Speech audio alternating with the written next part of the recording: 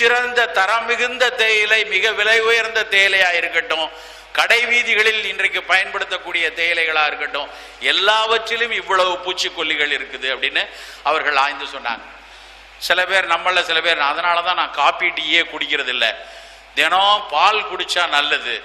பால் குடிச்சாதான் நல்ல போஷாக்கா இருக்கலாம் அப்படின்னு ஒரு கூட்டமே காலையில ஒரு டம்ளர் பாலை கொடுத்து அனுப்புறது. எதையும் சாப்பிடலைன்னா பரவாயில்ல ஒரு கப் பாலாவது குடி.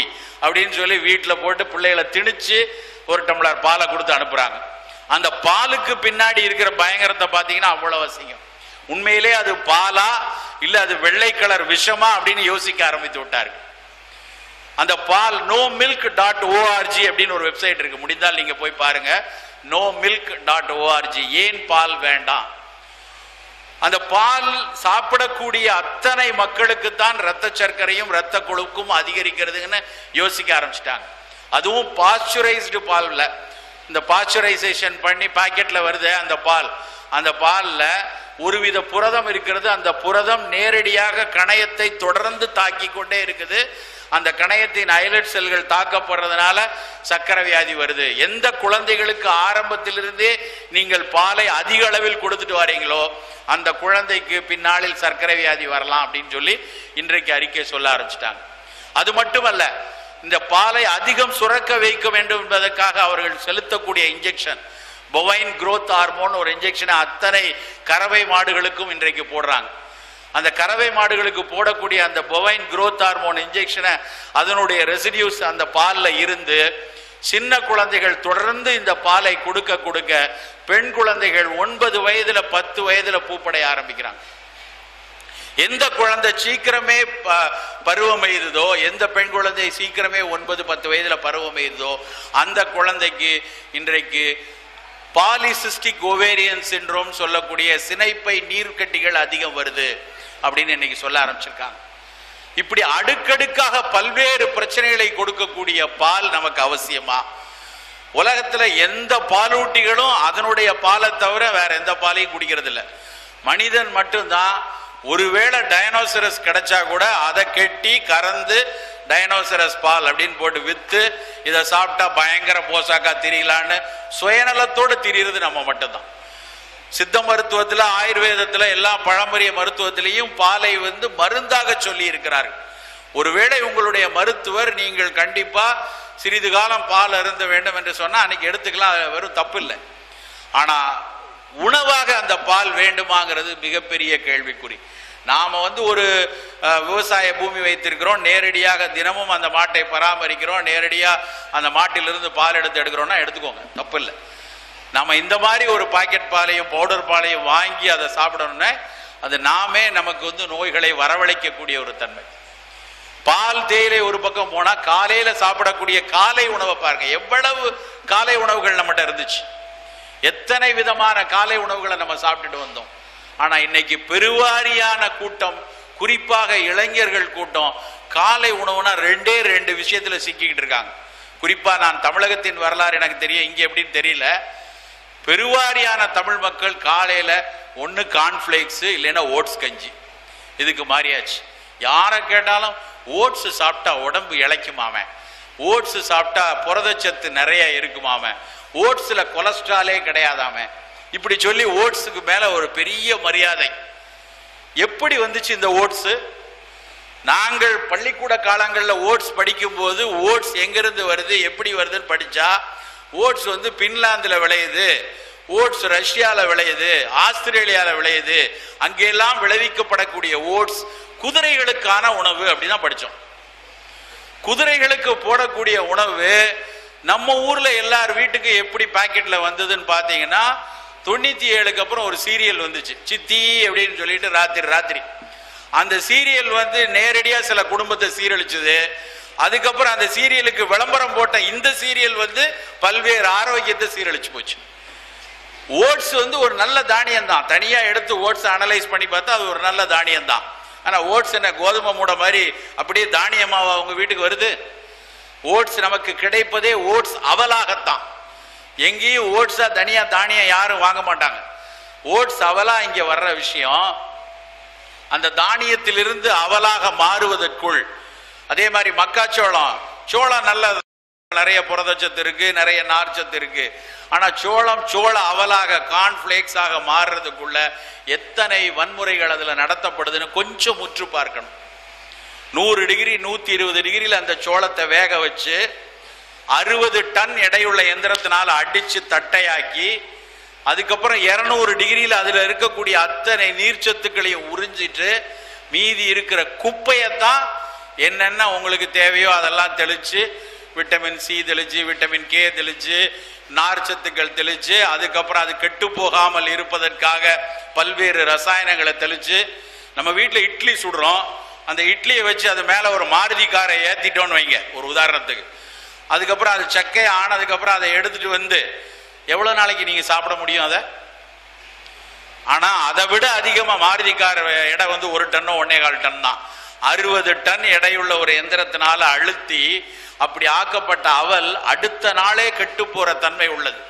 அந்த கெட்டு போகாமல் இருக்கிறதுக்காக. அப்புறம் உங்களுக்கு சாக்கோ ஃப்ளேவர் வேணுமா ஸ்ட்ராபெர்ரி ஃப்ளேவர் வேணுமா இப்படி ஒவ்வொரு அட்ரஸ்காஜ் ஃப்ளேவர் வேணுமான்னு அந்த ஃப்ளேவர் எல்லாம் கெமிக்கலில் சேர்த்து அதுக்கப்புறம் இந்த ஊரில் எல்லாருக்கும் ஒரு வியாதி பிடிச்சிருக்கு.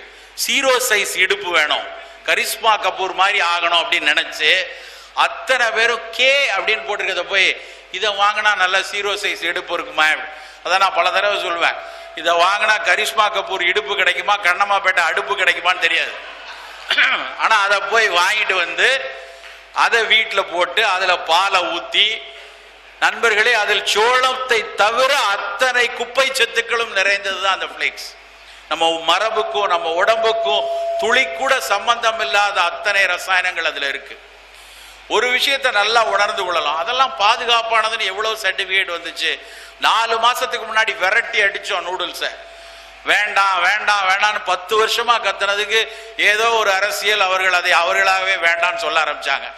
நாலு மாசம் தான் சரியா. உங்களுடைய மாநிலத்தில் இருந்து தான் உயர் நீதிமன்ற தீர்ப்பு வந்திருக்கு.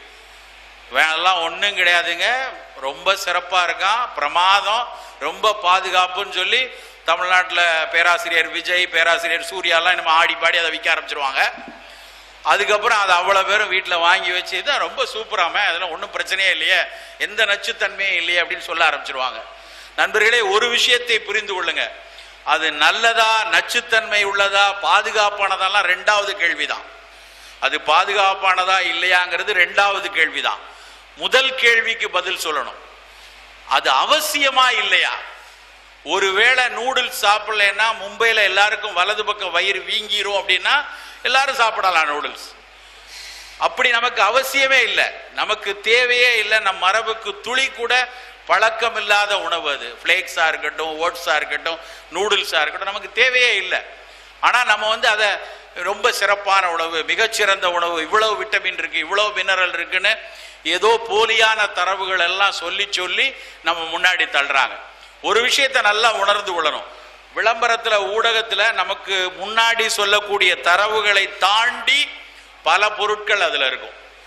விட்டமின் சி இருக்குன்னா விட்டமின் சி இருக்கும். அதோடு சேர்ந்து கொஞ்சம் ஆர்கனோ பாஸ்பரஸ் விஷம் இருக்கும். நம்ம அதுக்கு தெரியாது. ஏன்னா அதை அந்த கம்பெனி சொல்ல மாட்டான். அவனுக்கு தேவையானதை உங்களை எது ஊக்குவிக்குமோ உங்களை எது உற்சாகப்படுத்துமோ அதை மட்டும் முன்னிறுத்தி பல குப்பை உணவுகள் நம் முன்னாடி விற்கப்படுது. இந்த உணவுகளை தினம் தினம் தினம் சாப்பிட்றதுனால அதோட விளைவு தான் இன்றைக்கு பல்வேறு நோய் கூட்டங்கள் ஒரு சாதாரணமாக கோழி நமக்கு நல்ல பிடிச்சமான உணவு. கோழி வறுவல் வந்து யார் வீட்டுக்கு விருந்து வந்தாலும் கோழி அடித்து குழம்பு வைன்னு சொல்கிறோம் ஒரு கோழியை பொரிச்சு கொடுத்தா குழந்தைகள்லாம் கும்மாளமாக சாப்பிடுது. சாதாரணமாக கோழி செ- பொரியல் பண்ணணும்னா ஒரு ஏழு எட்டு விஷயம் ஒரு இஞ்சி பூண்டு ஒரு சீரகம் பெருஞ்சீரகம் பெருங்காயம் போடுவாங்க. ஒரு பன்னாட்டு கோழி வறுவல் கம்பெனி கண்டிப்பாக இந்த ஊர்ல எல்லாம் கண்டிப்பாக பிச்சுக்கிட்டு இருக்கும். எல்லா மால்லையும் முதல்ல அவன் தான் வச்சுருக்கான். நாங்கள் அழகாக வறுத்து கொடுக்குறோம் அப்படின்னு. அதில் ஒரு நகட்ஸ் அப்படின்னு ஒரு பொருள். எல்லா பிள்ளைகளும் பேயா போய் அதை போய் சாப்பிடுது. அங்கே எங்கள் ஊரில் முன்னாடி சின்னதாக ஒரு பாக்கெட்டில் கொடுத்துட்டு இருந்தா இப்போ பக்கெட்டில் கொடுக்குறான். குடும்பமே காலியாகங்கடா அப்படின்னு சொல்லி.